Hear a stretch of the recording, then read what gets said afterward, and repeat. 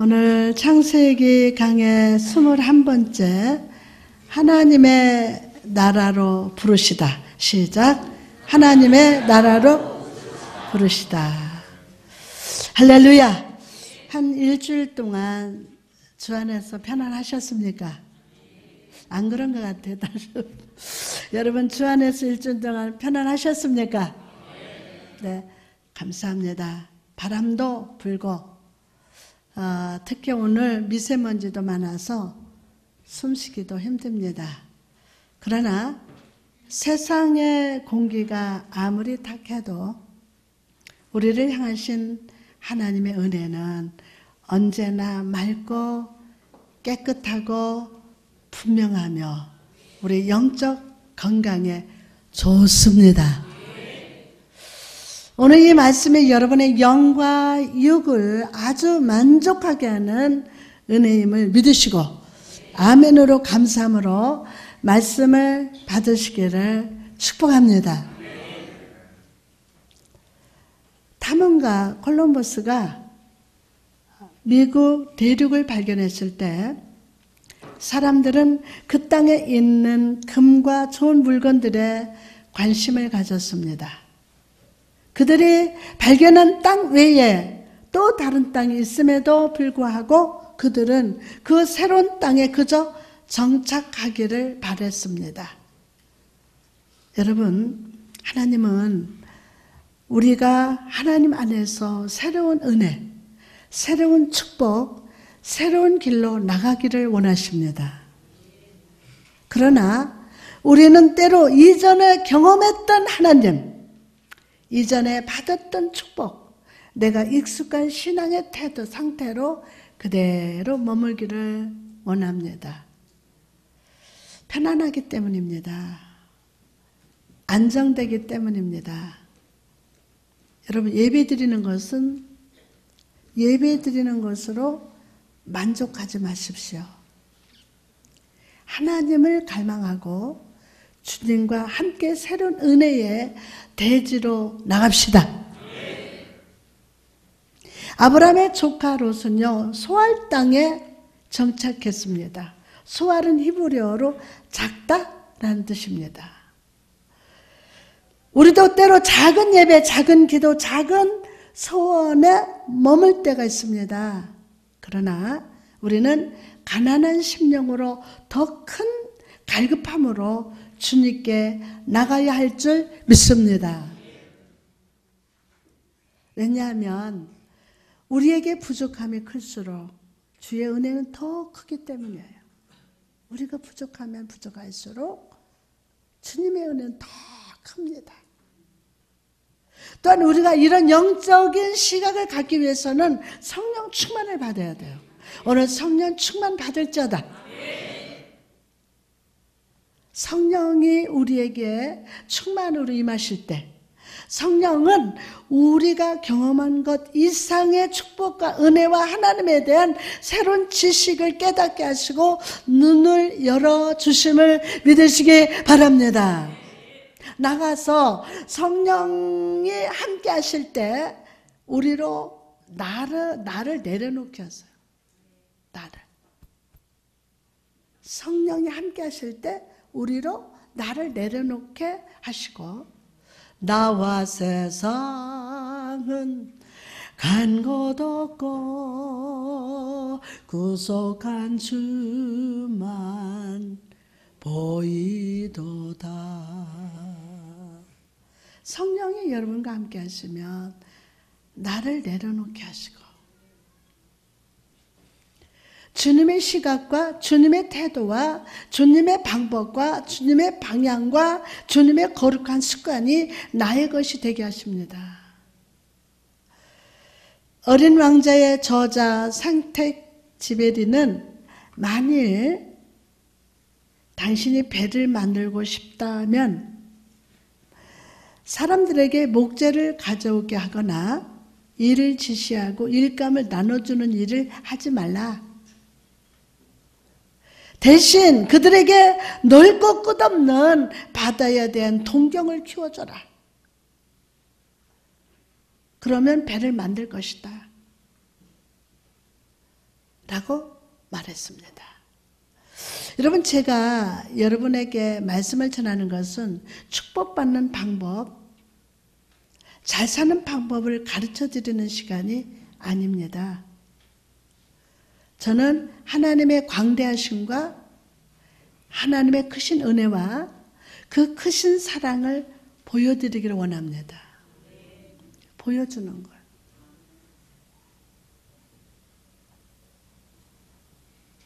그 하나님을 바라보시기 바랍니다. 그 하나님께 여러분 소망을 품읍시다. 믿음으로 믿음의 항해를 오늘 떠납시다. 이전에 발견하지 못했던 하나님, 이전에 받지 못했던 복과 성령의 부흥을 이 시간 발견할 줄 믿습니다. 지난주 우리는요, 하나님을 잊고 자기 힘과 능력으로 나라를 세우고 구원을 얻으려 했던 세상 나라의 모습을 보았습니다. 그리고 하나님께서는 죄로 인해서 타락하여서 하나님을 잊고 사는 세상 나라가 아니라 하나님의 다스리는 나라, 하나님의 인도하심을 받는 거룩한 백성을 세우기 위하여 대안을 세우신다고 하셨습니다. 대안을. 아주 은밀하게 일하시는 오늘 본문 속에서 우리는 한 사람을 부르시는 장면이 나옵니다. 그는 옛날 고대 수메르의 도시였던 갈대아 우르에 사는 아브라함이었어요.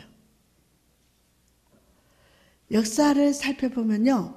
갈대아 우르는 매우 발전한 도시였다고 합니다.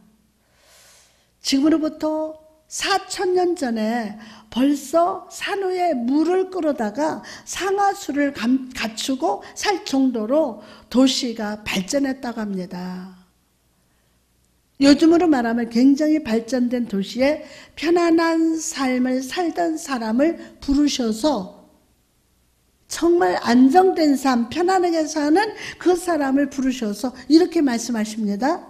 보면 1절을 보니까 너는 너의 고향과 또 뭐요? 친척과 아비 집을 떠나라. 아비 집을 떠나라. 요즘에야 여기저기로 이사 다닐 수 있지만요. 이 당시 도시를 떠나서 다른 곳으로 간다는 것은 안전을 포기한다는 것을 의미합니다. 안전. 길을 가다가 강도를 만날 수도 있습니다. 년들도 노예로 끌려가고 지도 새도 모르게 살해당할 수 있는 죽음의 골짜기로 나아가는 것이 바로 떠난다는 말 속에 담긴 의미가 있습니다. 거기에 대해서 하나님은 어디로 가라고 목적지도 말씀하지 않으셨어요. 그냥 진짜 아비 집을 떠나라고만 했지 어디 목적을 얘기해 준 게 아니에요. 그냥 떠나라고 하셨어요. 그냥 지시할 땅으로 가라. 앞으로 가르쳐 주겠다? 라고 하십니다. 이게 진짜 황당하지 않아요? 너 순종 가. 그러면 앞으로는 내가 가르쳐 줄게. 그러나 아브라함은요, 그 말씀하신 하나님을 믿음으로 떠났어요. 히브리서 11장 8절 말씀 보니까 믿음으로 아브라함은 부르심을 받았을 때 순종하여서 장래 유업으로 받을 땅에 나갈새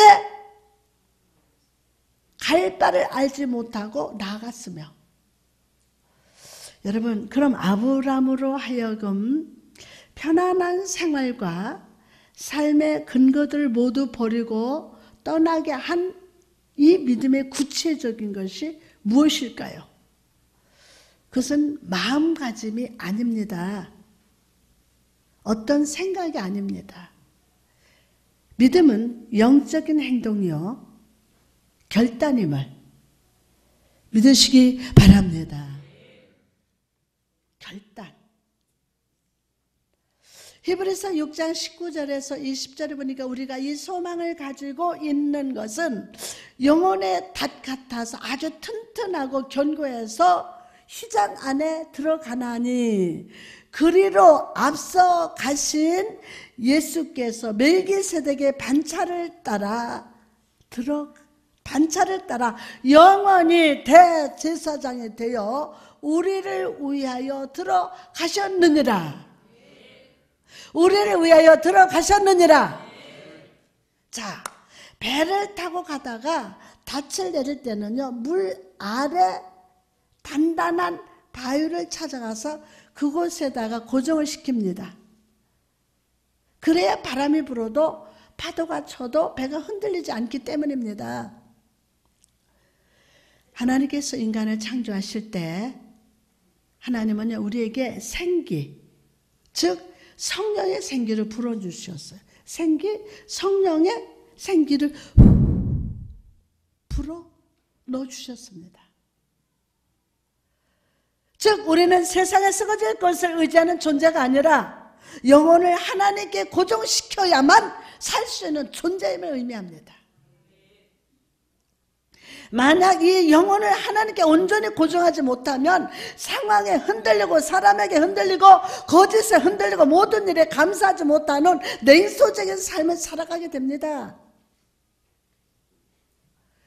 세상 믿지 못해요. 사람도 다 믿지 못해요. 두 가지 반응이 일어나요. 잘한다, 못한다. 앞에선 잘한다 하고 뒤에 가서는요, 저 사람 이렇게 해요. 아브라함을 보시기 바랍니다. 그가 하나님의 부르심을 받았을 때 그가 가진 모든 것을 다 버리고 떠날 수 있었던 근거가 무엇입니까? 하나님께 영혼의 닷을 고정했기 때문이에요. 하나님께 영혼의 못을 닷을 고정했기 때문입니다. 그러므로 여러분 상황이 변하고 내가 원하는 일이 이루어지지 않는 그 순간에도 영혼의 닻을 하나님께 하나님께 고정합시다. 더 크게 하면 미국의 어떤 여자 집사님이 살고 있었습니다. 아들 셋에 딸 둘, 다섯 명의 자녀를 키우고 있었습니다. 남편은 수주정뱅이였고 집에만 오면 아내와 아이들을 막 때립니다. 그리고 결국 다른 여자와 눈이 맞아 집을 떠났습니다. 다섯 명의 아이들은 겨우겨우 키우던 어느 날 큰아들이 밖에서 싸움이 붙어서 큰 돈을 배상해야 할 일이 생겨났습니다. 안 그래도 돈이 없었던 집사님은 더 이상 살 희망이 보이지 않았습니다. 집으로 돌아온 집사님은 창문을 모두 닫고 틈을 휴지로 전부 막았습니다. 그리고 가스렌지에 가스를 켜놓고 아이들과 함께 죽이려고 했습니다. 얘들아, 낮잠 좀 자자. 라고 말한 후에 집사님은 눈을 다 감았습니다. 그렇게 의식이 희미해졌던 때 부엌에 있던 라디오에서 이런 노래가 흘러나왔습니다. 쟤쯤 맡은 우리 구주 어 찌 좋은 친구인지 걱정 근심 무거운 짐. 우리 주께 맡기세. 적게 고함 없는 거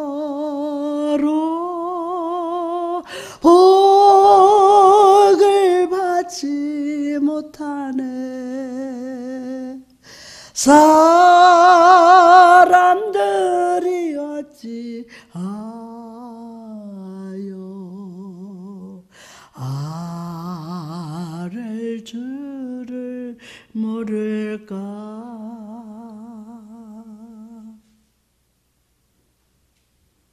부엌에서 이 찬송이 들려요. 이 찬송을 들은 집사님은 정신이 번쩍 들었습니다. 모든 것을 다 잃었어도 주님이 나와 함께 하시고 또 귀한 자녀도 다섯 명이나 하나님 주셨음을 깨달았어요. 와, 귀한 아들 다섯 명 주셨다. 그리고 그때부터 집사님은 영혼의 돛을 하나님께 고정하고 믿음으로 살기로 결단을 합니다. 그리고 매 순간 공급하시고 채우시는 하나님으로 말미암아 자녀들을 모두 미국의 리더로 훌륭한 목사로 키워냈다고 합니다. 성도 여러분, 오늘 여러분은 영혼의 탓을 어디에 내리고 있습니까? 혹시나 여러분은 영혼을 사람에게, 세상에게, 물질에 고정하고 있지는 않으십니까? 여러분 생각에 아무리 단단해 보인다 할지라도 세상에 있는 것은 고난의 풍랑이 밀려오면 모두 가라앉게 됨을 잊지 마십시오. 오히려 어떤 바람도 어떤 풍랑에도 흔들리지 않는 견고한 바위 되시는 하나님께 영혼의 탓을 내리고 믿음으로 살아가시기를 주님의 이름으로 축원합니다. 하나님께 영혼의 탓을 굳게 내리고 순종의 발걸음을 내딛은 아브라함에게 하나님은 복된 약속을 해주셨습니다. 본문 2절에서 3절 말씀 보니까 내가 너로 큰 민족을 이루고 내게 복을 주어 내 이름을 창대케 하리니 너는 복이 될지라 너를 축복하는 자에게는 내가 복을 내리고 너를 저주하는 자에게는 내가 저주하리니 땅의 모든 족속이 너로 말미암아 복을 얻을 것이라 하신지라.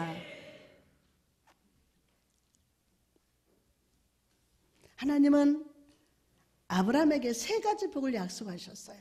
세 가지. 첫째는 땅이고 두 번째는 후손의 번성을 약속하셨어요. 세 번째는 약속은 동득하다, 독특하다. 본문 3절 보니까 너를 축복하는 자에게 내가 복을 내리고 너를 저주하는 자에게는 내가 저주하리니. 여러분 옛날 고대 왕국 중에 히타이트의 문서를 보면요. 이 3절에 나온 말이 나온다고 합니다. 이것은 강한 나라의 왕이 어떤 약한 나라의 왕을 인정해 주는 문서를 보낼 때 그 문서에 쓰였던 문장이라고 합니다. 강덕국의 왕은 이 문장을 써줌으로써 너를 한 나라의 한 나라로 인정하고 위급할 때 보호하고 지켜주시겠다고 약속했다고 합니다. 그래서 출애굽기에서 이스라엘 백성들이 고통을 받을 때 하나님께서 이 아브라함과 했던 약속을 기억하셔서 이스라엘 백성을 구원하시고 애굽을 심판하셨던 것입니다. 이스라엘 백성을 구원하시고 애굽을 즉 하나님께서 아브라함에게 주셨던 약속을 보면요. 아브라함의 삶에 개인적인 작은 복을 주는 것을 넘어서서 국토와 국민과 주권을 인정받는 한 나라 하나님의 보하심과 다스리심을 받는 하나님의 나라의 백성으로 세우시겠다는 뜻임을 믿으시기를 바랍니다. 오늘 아멘하고 받을쩌다.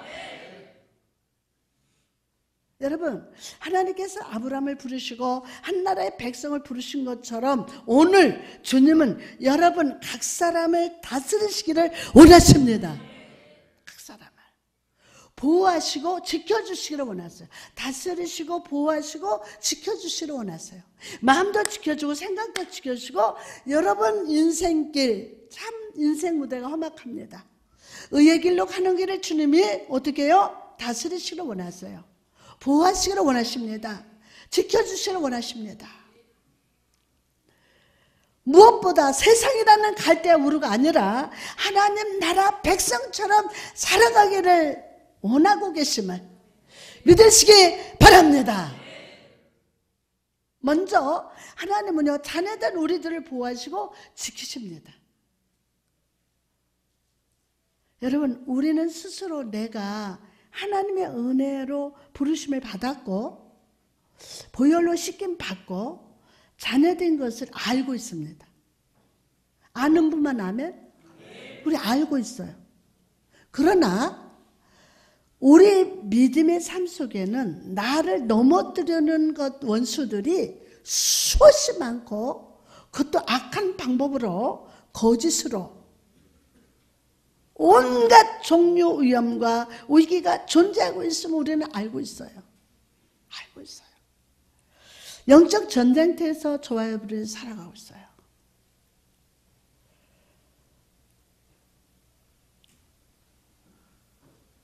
성도 여러분, 그러므로 우리는 우리가 항상 우리의 보호를 필요하는 존재임을 인식해야 돼요. 여호와의 보호하심. 악한 사단으로 또 우리의 믿음의 뿌리를 사망의 도끼로 찍어 내려갑니다. 밀처럼 까불려고 겨처럼 태워버리기 위해서 우는 사자처럼 우리 주변에 숨어 있습니다. 아가서 2장 15절 보니까 여우 곧 포도원을 허는 작은 여우를 잡으라. 아멘도 안 내. 여우 곧 포도원을 허는 작은 여우를 잡으라. 이거 전담자 목사의 말이 아니에요. 아가서 2장 15절 말씀이에요. 오늘날 우리 삶의 주변에는요, 온갖 종류의 작은 여우들이 있습니다. 저는 우리 성도들 가정을 기도할 때 가정이라는 울타리를 허는 작은 여우야 물러가라. 대신 성령의 불담으로 지켜주옵소서. 우리 성도들 생각과 마음을 지켜주옵소서. 아멘. 건강을 지켜주옵소서. 그래요. 여러분 좀 없어도 괜찮아요. 삐뚤빼뚤해도 괜찮아요. 오늘 우리 아버지 앞에 올 수 있으니 감사하고 이렇게 건강 주고 생명 주셔 얼마나 감사합니까? 그 하나님께 영광의 박수 올려드립니다. 감사합니다. 얼마나 감사한지 몰라요. 얼마나 많은 종류의 작은 여우들이 있는지 몰라요. 작은 말 한마디, 작은 생각 하나, 이 작은 여우들. 이 여우들은요, 성도들을 유혹해서 넘어뜨리고 성령의 영감과 하나님의 살아계심에 대해서 의심하게 만듭니다. 나가서 하나님의 손으로 주어지는, 주어지는 은혜와 축복들을 가볍게 여기도록 유혹하면서 마치 거짓 진리 안에 구원이 있고 만족이 있다고 소리칩니다. 그래서 결국 하나님의 성도들이 모이는 교회를 떠나도록 역사합니다. 떠나도록. 어떻게 가는지, 어떤 사연이 있는지, 어떤 스토리가 있고, 어떤 말들이 있는지 알려고도 하지 말고, 저도 모르고, 여러분도 모르나 하나님은 아시고, 여러분과 저에게 지혜를 주시고, 청명을 주시고, 성령 역사가 일어날 줄 믿습니다. 그러면, 여러분, 오늘날 수많은 교회들이 이 작은 여우들의 유혹과 공격에 빠져서 그 영적 뿌리가 막 시들어가고 있습니다. 목사님들만 와 한국에 어떡하지 어떡하지 어떡하지 막 이래. 수많은 교회들이 문을 닫고 성도들이 떠나가고 있습니다. 만약 하나님께서 우리 교회를 지켜주시지 않으셨다면 아마 우리 교회도 이 작은 여우의 공격에 무너지고 말았을 겁니다. 여러분 감사합니다. 여러분 항상 기도에 가는 위치에서 그러나 감사한 사실 우리 주님께서 이런 작은 여우의 공격에서 우리를 보호해 주셨다는 사실에 감사합시다. 여전히 우리 교회는 신선합니다. 생명력이 넘칩니다. 그러면 그러면 힘을 내세요. 이 모든 것이 다 하나님의 보호하심 때문이요. 주님께서 원수의 모든 괴락과 간교에서 지켜주셨기 때문입니다. 여러분 이처럼 우리 인생의 길에는 여러 가지 위험이 존재합니다. 이것들의 존재함을 이 시간 분명히 자각해야 합니다. 그리고 오늘날 내 자신에 대한 모든 신뢰를 버리고 하나님께 더 가까이 갑시다. 하나님께 더 가까이. 그럴 때 주님께서 우리를 그 거룩하신 품 안에 안아주시고 안전하게 지켜주실 줄 믿습니다. 무엇보다 우리는 항상 삶 속에서 하나님과 영적인 결합, 영적인 결합, 지속적인 교제를 가져야 합니다. 어떤 분들은 이런 말을 할지도 모릅니다. 하나님과 지속적인 결합, 지속적인 교제가 가능합니까? 목사님은 가능하실 줄 몰라도 우리 같이 매일매일 사업해서 일터에서 세상에서 일하는 사람이 쉽지 않습니다. 여러분, 여러분의 마음은 잘 알고 있습니다. 맞습니다. 그러나 우리 주변에는 생각 외로 세상에 살면서 하나님과 끊임없이 교제하며 그분이 주시는 은혜의 생수를 마시며 살았던 사람들이 많이 있습니다. 여러분 한 사람 한 사람이 그런 사람인 줄 믿습니다.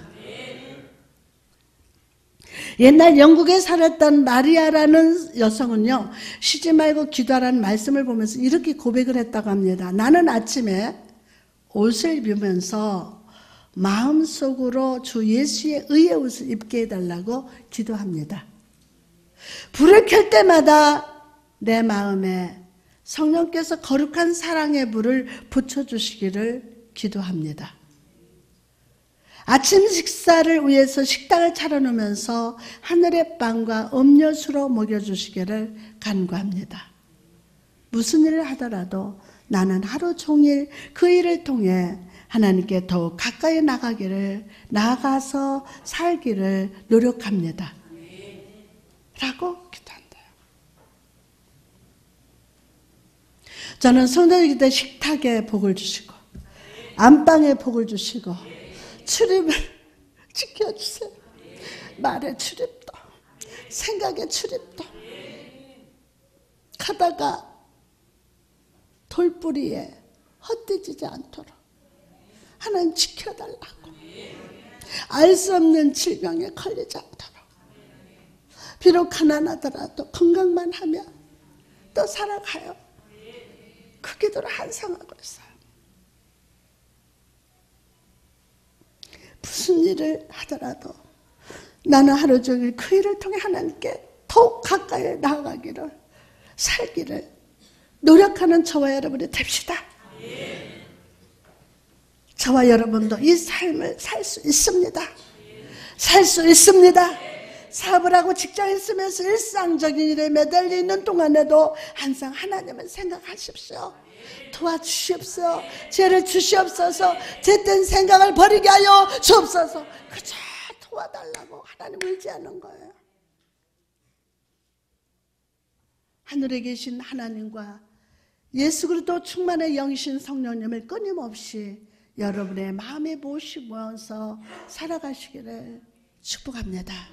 그렇다 하나님께서 우리의 삶을 지키시되 끊임없는 은혜의 생수로 우리를 공급하시면서 복된 자로 성장시켜 주실 줄 믿습니다. 나가서 우리가 하나님의 나라의 백성이라면 우리는 인생의 매 순간 하나님께로부터 지시를 받는 종이 되어야 합니다. 내가 인생을 조종하는 것이 아닙니다. 하나님이 운전하시고 나는 주의 명령을 받고 순종할 뿐입니다. 순종할 뿐이에요.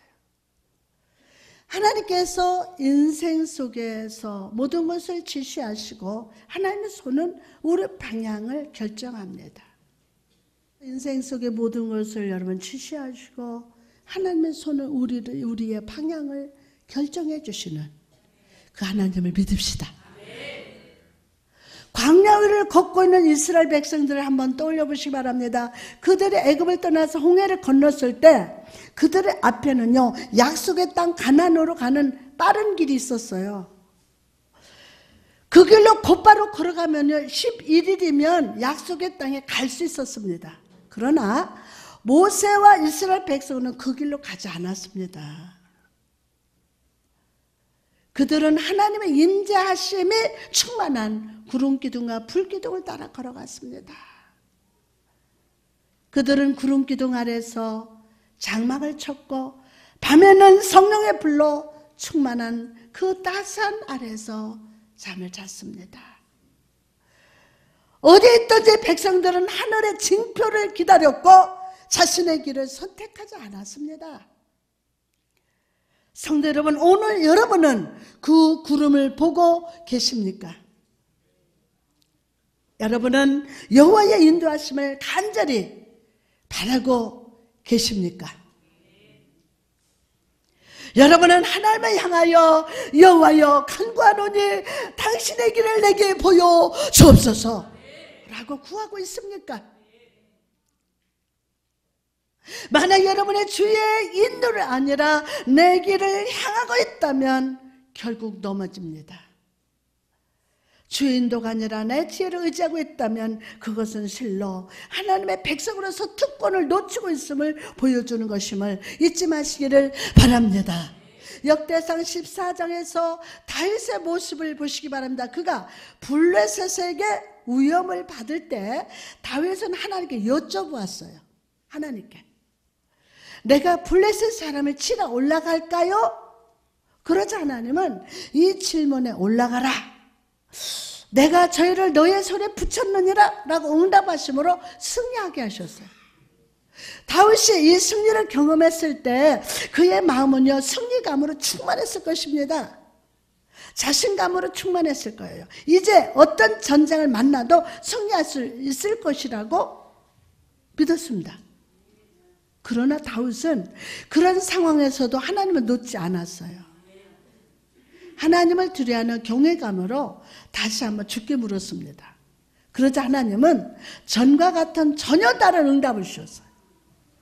사무엘 5장 23절 24절 말씀 보니까 다윗이 여호와께 여쭈어 이르시되 올라가라 올라가지 말라고 그들을 뒤로 돌아서 뽕나무 숲을 맞은편에서 그들을 기습하되 뽕나무 꼭대기에서 걸음 걷는 소리가 들리거든 곧 공격하라. 그때에 여호와가 너보다 앞서 나가서 블레셋 군대를 치리라 하신지라. 아멘.